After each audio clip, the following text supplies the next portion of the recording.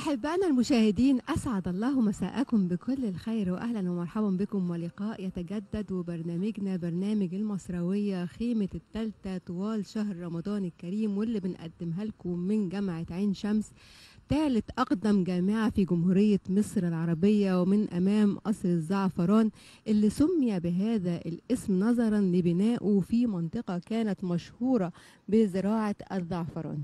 الحقيقة لو اتكلمنا عن جامعة عين شمس بنقول إن كان تأسيسها عام 1950 وإحنا طوال شهر رمضان كنا معاكم من هذه الجامعة العريقة آه، الجميلة آه، بكل ما فيها من آثار وبكل ما فيها من كليات الحقيقة بتجمع ما بين آه، العلم والجمال في نفس الوقت. النهارده وإحنا في آه ليلة 29 رمضان بنقول لكم كل سنة وأنتم طيبين أيام قليلة ونحتفل جميعا بعيد الفطر مبارك كل عام وأنتم بخير. كل سنة وانت طيبة عبير وكل سنة وضيفنا آه اللي مشرفنا النهارده بكل خير وسعادة وإن شاء الله يكون عيد سعيد علينا جميعا بإذن الله. وانت و- طيبة يا أماني وكل المشاهدين طيبين وليلة ورا ليلة وسهرة آه، رمضانية. بنسعد آه، بتواصل معاكم آه، على مدار شهر رمضان الكريم. وكل سنة وحضراتكم أيضا آه، طيبين بمناسبة قدوم عيد الفطر المبارك. وإحنا بنودع هذا الشهر الفضيل شهر رمضان معانا قيمة وقامة. آه، ومعلم أجيال حقيقة آه، من أبناء جامعة عين شمس له بصمات وله تاريخ في مجال تخصصه آه، الأكاديمي والعملي. آه، اسمحوا لي أرحب بالدكتور أيمن صالح أستاذ القلب بطب عين شمس ونائب رئيس الجامعة لشؤون الدراسات العليا. والبحوث أهلا بيكي دكتور أيمن وكل سنة وحضرتك طيب ومنورنا النهاردة في المصروية. أهلا بحضرتك وسعيدة بقى مع حضراتكم. وكل سنة والساده المشاهدين كلهم بألف صحة وسلامة آه، يعني بنقول آه، الحقيقة آه، أستاذ قلب أيوة. هنتكلم عن هذا التخصص المهم جدا في حياتنا كلنا ونائب رئيس الجامعة لشؤون الدراسات العليا والبحوث تحب تتكلم عن إيه الأول؟ خلينا نبتدي بالقلب يا عبير بما إن إحنا داخلين على شهر على العيد عيد الفطر المبارك آه، وطبعا آه، عشان آه، يمكن في بعض ال- الناس بتكون مصابة بالقلب وهتنتقل بقى من رمضان للعيد فبيهمنا إن إحنا نعرف أو نديهم بعض النصائح كده في بداية حلقتنا النهارده ونقول لهم كل سنة وأنتم طيبين آه، ما تخف ما, ما تكتروش من الكحك في العيد طبعا هو ال... يعني طبعا ال- الصيام نفسه مش ممنوع لمرضى القلب أو بالظبط. معظمهم آه، ما عدا اللي عنده جلطات حادة في القلب آه، هو ده الممنوع. أو اللي هو بياخد ادويه كتير بحيث إن هو مش قادر يصوم ومحتاج يشرب سوائل. ده بالنسبة للصيام. بالنسبة للإفطار هو ال... ال... الإنسان عموما بيبقى جسمه تأقلم إنه بياكل في وقت معين. وجسمه أو جهاز ال- الهضمي بيستريح ساعات معينة. آه، فلما يجي يفطر بيغير النظام اللي هو جسمه اتعود عليه. فيجب إن هو يعمل هذا التغيير يعني ما يرجعش مرة واحدة ياكل ثلاث وجبات كاملين ويملى بطنه وياكل الحاجات الحلوة بقى والكحك وحاجات التانية. فهي النصيحة لكل الناس سواء هو عنده القلب ولا ما عندوش قلب إن هو يعرف إن هو كان جسمه اتعود على حاجة فلازم بالتدريج يبتدي يعوده على حاجة تانية. بالظبط. فبر واحدة واحدة ما تملاش بطنك. مرضى ال- القلب بالذات آه، مشكلة لما بيملوا بطنهم آه، بالنسبة لمريض القلب أكنه جري. فبالتالي هو آه، آه، بيأثر على التنفس عنده يا دكتور هو كمان مش بس. التنفس هو بي بي بيبقى بيخلي ضربات قلب تزيد. آه. فده بالنسبة لمريض القلب أكنه جري أكنه بيعمل مجهود بالظبط عمل مجهود كبير آه فهو طبعا مريض القلب بالذات النصيحة الأساسية ما تملاش بطنك مم. طيب آه، دايما بيقولوا مرضى القلب خصوصا آه، اللي هم يعني مرضى قلب بقالهم فترات طويلة يفضل إن في شهر رمضان الكريم يشربوا كمية سوائل أكتر من المعتاد اللي بيشربها الإنسان العادي هل الكلام ده مظبوط؟ لا ما نقدرش نعمم الكلام ده. آه يعني في مرضى بننصحهم النصيحه دي مم. زي لما يكون واحد عنده تاريخ مرضي لجلطات أيوه في الاورده أو الشرايين آه. آه. طبعا نحب يبقى جسمه آه، فيه سوائل كافية فبيعوض آه، طبعا لو هو عنده جلطة حادة مم. في الوريد أو الشرايين أصلا ما يصومش مم. إنما لو هو تاريخ يعني مرضي المفروض مريد القلب ما يصومش مريض الجلطة الحادة الجلطة الحادة بس. حادة. آه إنما اللي عنده تاريخ مرضي إنه من سنتين ثلاثة جاله جلطة و- وخلاص واتعالجت وراحت لا يقدر يصوم بس في فترات الإفطار مم. يعوض السوائل تمام إنما الجلطات الحادة هي اللي ما ينفعش يصوم جميل. دكتور أيمن صالح آه، نائب رئيس الجامعة لشؤون الدراسات العليا والبحوث وإحنا بقى بنتكلم عن الدراسات العليا والبحوث ويمكن هذا آه، القسم واحد من أهم الأقسام في الجامعة. طبعا لما بنبتدي ندخل بقى على الدراسات العليا والماجستير والدكتوراه وعايزين بقى نتكلم عن هذا القسم وأ- وأهمية هذا القسم والبحوث التي تقدم. وهل في اتجاه معين للبحوث التي تقدم في جامعة عين شمس في السنوات آه، الأخيرة؟ هو طبعا ال- العالم كله دلوقتي بقى بيعتمد على المعرفة. بالظبط. يعني بقى ال- ال- ال- الدول التي سبقتنا اقتصاديا هي اقتصادها قائم على المعرفة. وأصبح ال ال ال بيسموه ما بقى يعني عامل المعرفة. مش مهم هو تخصصه إيه إنما مهم إن يكون آه، عنده معرفة بتخصصه بدرجة آه، تتماشى مع الزمن اللي إحنا فيه. بالظبط. فاذا المعرفة ده أساس لتقدم الاقتصادي والعسكري وكل شيء. بالظبط. الاهتمامات بتاعت جامعة عين شمس في السنوات ال- تحديدا السنة اللي فاتت ما في خطة استراتيجية للأبحاث. بغض النظر هي ماجستير أو دكتوراه أو حتى للباحثين بره الماجستير والدكتوراه هي متحددة في أو في أولويات. اولا إحنا بمناسبة الكورونا فهو للتنبؤ بالأوبئة تشخيص الأمراض المعدية وعلاجها اكتشاف أدوية جديدة تواجه الأوبئة والأمراض المعدية مشاكل المياه الاكتفاء الذاتي بالغذاء الاكتفاء الذاتي بالدواء آه، الأمن السبراني وأخيرا وليس اخرا الزيادة السكانيه فدي هي- دي النقاط آه. الاستراتيجية بتاعت جامعة عين شمس آه. في الأبحاث أو دي الأولويات يعني كل الموضوعات هي- اللي بتعتبر ليها أهمية خاصة لينا كمصر وللعالم أجمع في الفترة الأخيرة أيوه فهم. يعني هي- هي فعلا آه، قضايا وموضوعات العالم كله بيهتم بيها أيوة. يا دكتور أيمن طيب آه، الحقيقة إحنا زي ما حضرتك قلت أي دولة بتعتمد على العلم للتقدم. يعني طالما في معرفة وفي علم بتقدر تتقدم في كل المجالات وتثبت آه، وجودها. آه، إحنا عندنا طبعا أكاديمية البحث العلمي وحضرتك طبعا نائب رئيس الجامعة لشؤون الدراسات العليا والبحوث وأكيد بتقدم أبحاث واختراعات كثيرة جدا من أبناء آه، آه، جامعة عين شمس وبتكون مفيدة ومهمة. آه، للوطن وللمجتمع آه، إزاي بيتم تحويل هذه الأبحاث والاختراعات من على الورق من الجانب النظري للجانب التنفيذي أو التطبيقي على أرض الواقع بحيث إنها تكون واقعية ويستفيد منها المجتمع في أي مجال. هو البحث العلمي عموما آه، لازم فيه حرية يعني آه. آه، كل من يريد أن يبحث في شيء يبحث. ولكن الأولوية تكون. للأبحاث المرتبطة بالمجتمع واحتياجاته أكيد سواء احتياجاته في الصناعة أو. الاقتصاد أو الزراعة. وعشان كده إحنا قلنا الأولوية لما نقول الأولوية في الخطة يعني هو ده اللي هنساعده أكتر أيوة. إنما مش هنمنع أي حد يبحث في أي حاجة إحنا آليات تحويل حضرتك سألت سؤال محدد آه. إزاي إن الأبحاث اللي بتجرى يبقى تتحول إلى تطبيقية تطبيقية وتنفيذيه آه. فالأولوية آه. هي للأبحاث التطبيقية الاولويه في التمويل في التكريم في حاجات كتيرة إنما مم. كمان إحنا عندنا في آه، مركز للابتكار والإبداع لجامعة عين شمس. وهو ده آه، يعني من ما كانش أول فهو من أوائل المراكز من هذه الشاكلة آه. في الجامعات الحكومية مم. وده دوره اللي حضرتك بتسألي عليه ده مم. هو دوره إن هو ده له يعني ممثلين أو منسقين في كل الكليات أيوه لجامعة عين شمس دورهم إن هم يلقطوا لو صح التعبير أي فكرة أو أي بحث آه، يساعدوا الباحث أو صاحب الفكرة إزاي يطور فكرته. بالتدريج إلى آه، حاجة بنسميها بروتوتايب مثال أو مثال آه، للفكرة ز- تطبيقي أيوة. ثم حاجة اسمها حاضنة يحتضنوا هذه الفكرة وهذا المثال أو البروتوتايب بحيث بالتدريج يحاولوا يوصلوه. إلى منتج كويس ولو ينفع يتحول إلى شركة آه فده فكر نسبيا جديد في مصر وده دور المركز الابتكار والإبداع إن هو هو قائم عليه آه، متخصصين أساتذة في الهندسة. في تخصص مختلفة طب دكتور في- أيمن يعني اللي حضرتك بتقوله كلام جميل جدا ويمكن ده بيتطرق لنفس الجزئية اللي حضرتك بتقولها آه، وهو احتضان الأفكار الجديدة اللي فعلا ممكن تنفيذها وتطبيقها على أرض الواقع لكن دايما بتقف في مشكلة التمويل إزاي بيتم تمويل هذه المشروعات اللي ممكن تنفيذها وبتكون فعلا المجتمع محتاجها تمام هو تمويل ال- المشروعات البحثية أو الأبحاث لو هتكلم على جامعة عين شمس.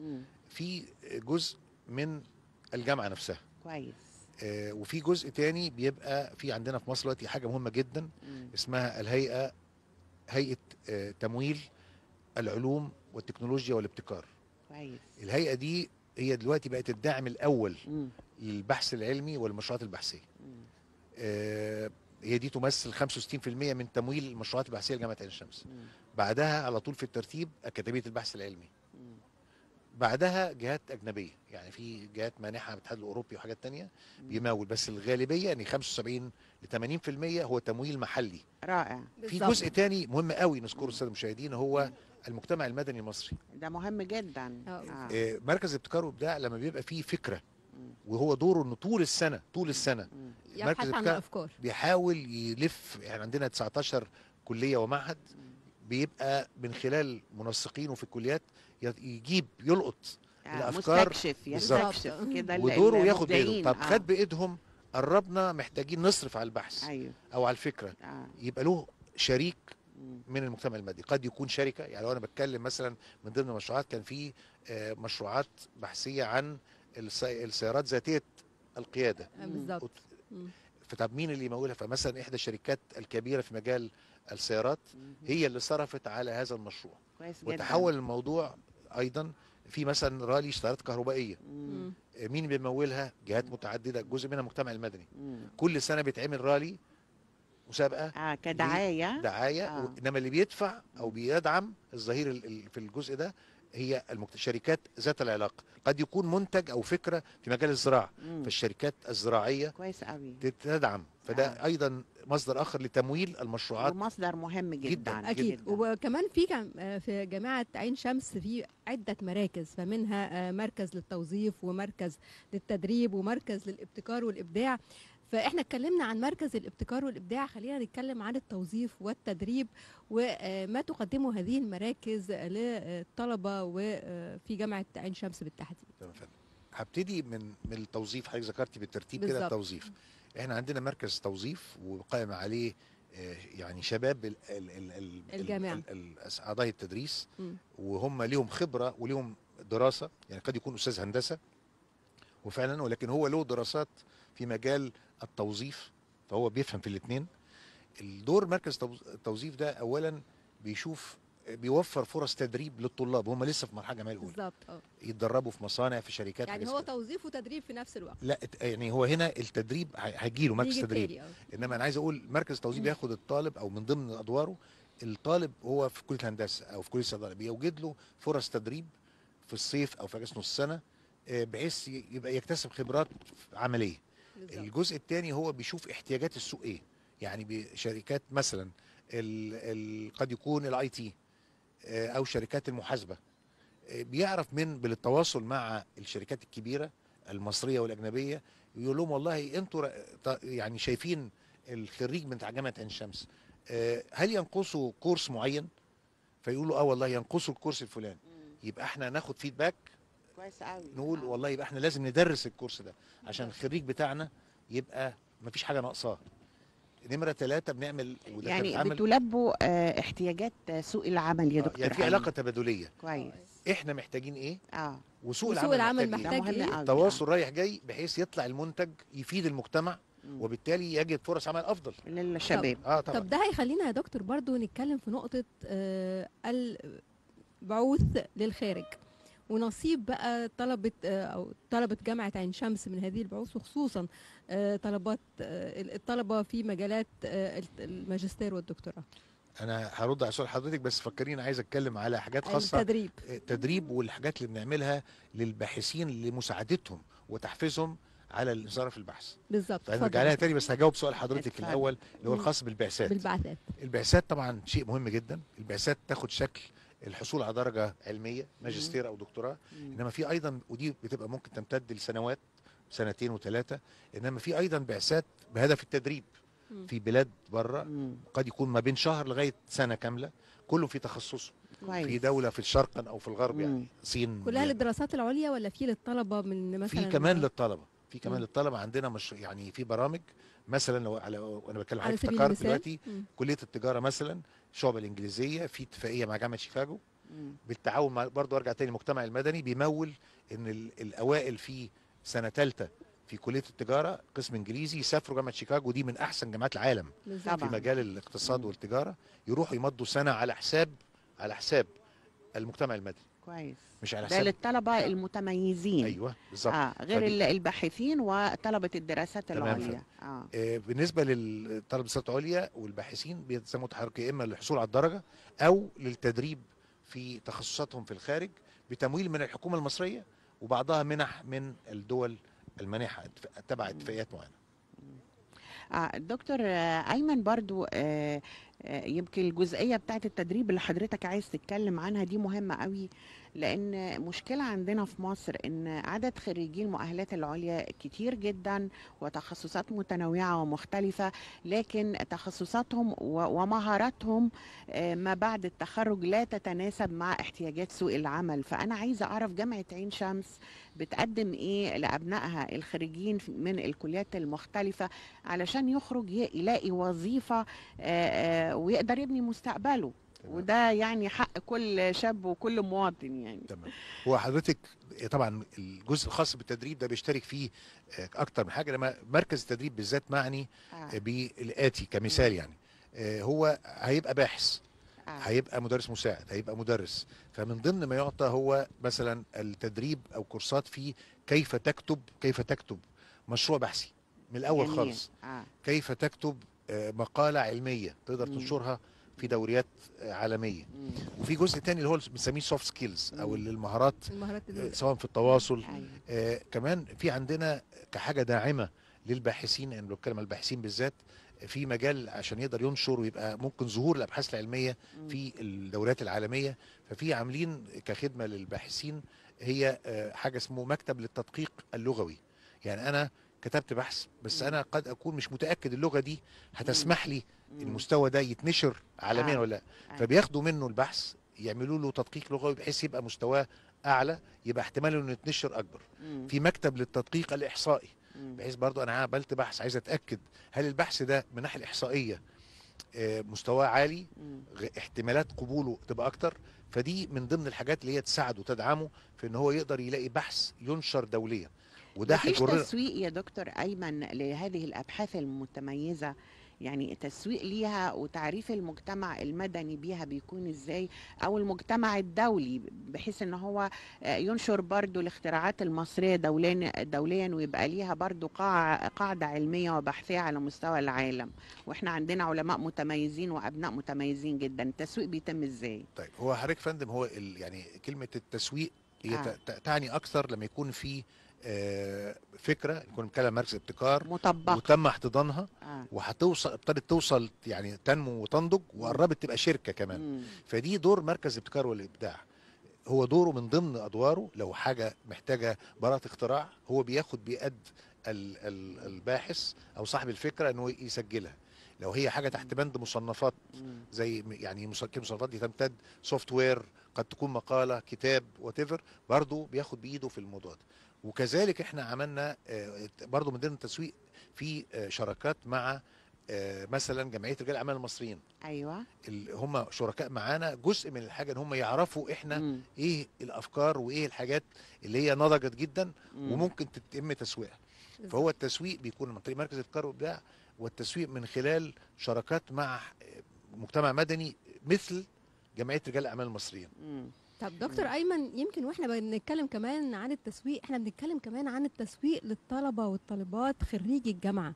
ويمكن في في الفترات الأخيرة شفنا إن في شركات كتير جدا بتطرح آه، وظائف وده بيكون من خلال الجامعة. فهل ده متبع؟ وهل في بروتوكولات تعاون بين جامعة عين شمس وجامعات أخرى خارج مصر بعيدا بقى عن ال- ال- الوظائف في مجال الدراسة؟ زي ما ذكرنا كده جامعة شيكاغو في مجال آه، الإجابة أيوه يا فندم هو جامعة عين شمس آه، فيها آه، قرابة ال 100 100 اتفاقية وبروتوكول مع جهات أجنبية شرقا وغربا أيضا في مختلف التخصصات. ال- دي بتسمح بالناس بنسميها موبيليتي يعني ناس تسافر من عندنا وناس تيجي. يعني في عندنا أساتذة زائرين بيجوا من دول أجنبية يحاضروا ويشاركوا في الامتحانات هنا. وفي طلبة بيسافروا أو دراسات عليا يسافروا ياخدوا درجة أو يتدربوا. إنما كمان في حاجة تانية إن في بقى في برامج مشتركة.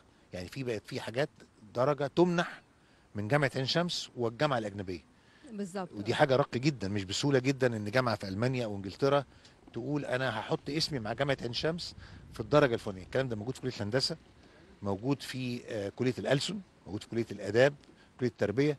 فده من ضمن الشراكات اللي بيننا وبين المجتمع الأجنبي. الأستاذ الدكتور أيمن صالح أستاذ القلب بطب عين شمس ونائب رئيس الجامعة لشؤون الدراسات العليا والبحوث كل الشكر والتقدير لسيادتك وكل عام وسيادتك بخير سعدنا جدا بلقاء سيادتك الليلة من خلال برنامجنا المصروية ونتمنى لك كل التوفيق والنجاح ولجامعة عين شمس العريقة كل التوفيق والنجاح أشكركم جدا. أشكر شكراً. حضرتك شكراً على اعطائي. الفرصة إن أنا اشارك مع ال- ال- الجمهور للقناة في التعريف بحاجات مهمة جدا تهم قطاع كبير من الناس من أول عمر يمكن 15 سنة لغاية عمر آه، 40 سنة. فشكرا لحضرتك. نورتنا ربنا نورتنا. يبارك يا فندم. سعيد. كل سنه وأنتم طيبين يا فندم. شكرا.